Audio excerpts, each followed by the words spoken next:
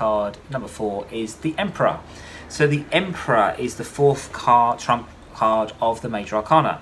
And in traditional texts, it could be used for divination. Now, on the Emperor card, lots of interesting things here. There's a lot of interesting symbology on this card.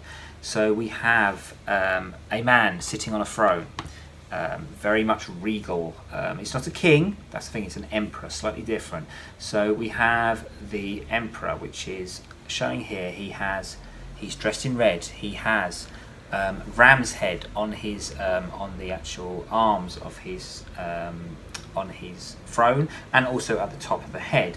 He also has a crown which is very interesting because it's also it's like hexagonal so it's slightly different and it's um, one two it's five. So it's about stability which is quite interesting. That's number four as the card. It's the actual gems on it are five and then he has um, this way of looking like someone who can um, has the knowledge and very much stability. Also, he's holding a sphere, which is to do with um, a solid gold scepter. But it's actually instead of a scepter, it's actually he's then got a the basically a form of the ankh as well, which um, I'll explain in a minute what that's all related to. Now, when we're looking at that, we also look at that. What is the emperor mean? What does it mean? What is the emperor mean? So. The emperor means a very many a few things, so let's have a look. So the emperor is authority, establishment, structure, and a father figure.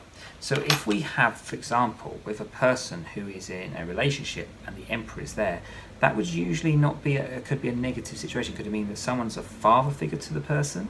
Or if someone is having an issue, then the father figure could be dictating what their life is about.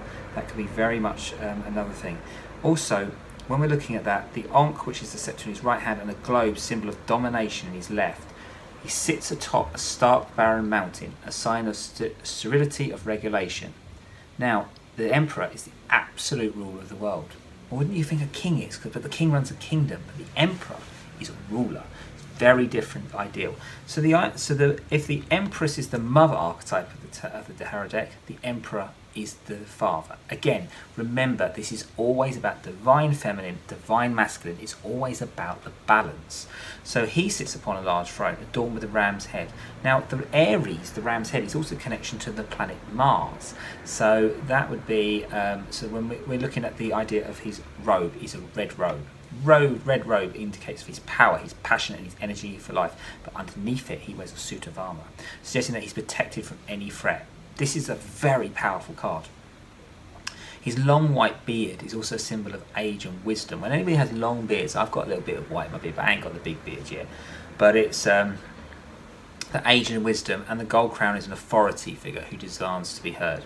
Behind this throne is the mountains, and it's also mountain range symbolizes a solid foundation and actually, if you look at it as well, be, beyond the mountain, there's also a river, which is about the flow of that.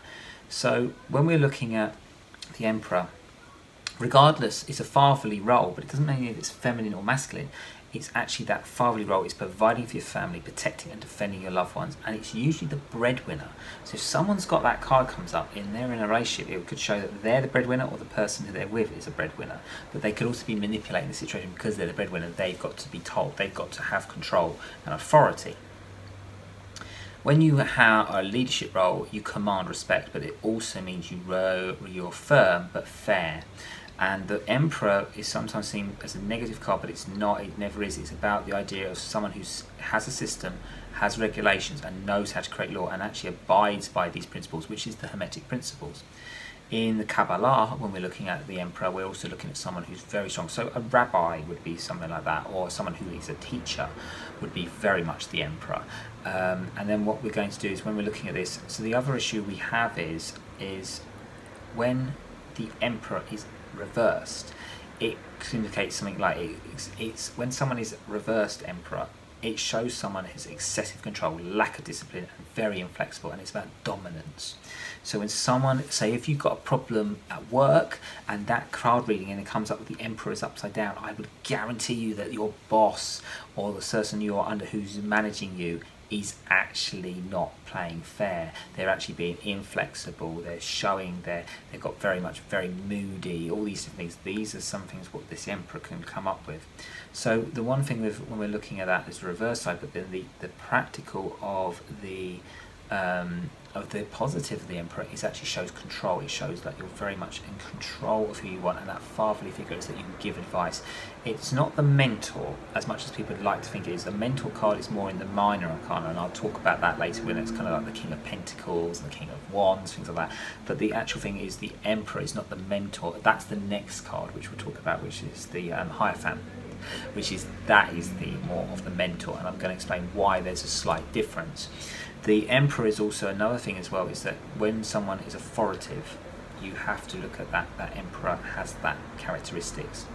So if you are interested in learning anything more about these cards um, I teach these tarot courses online and these are all done by Zoom and it's done by either group one-to-one uh, so it's either one-to-one or it's group or it's self-study. Within this also because of the authority the establishment I set up certain things that the, there has to be a regular timing every week that everybody turns up. They have to be there because if it's a group people are learning for each other and they actually read for each other and I see how they read each other.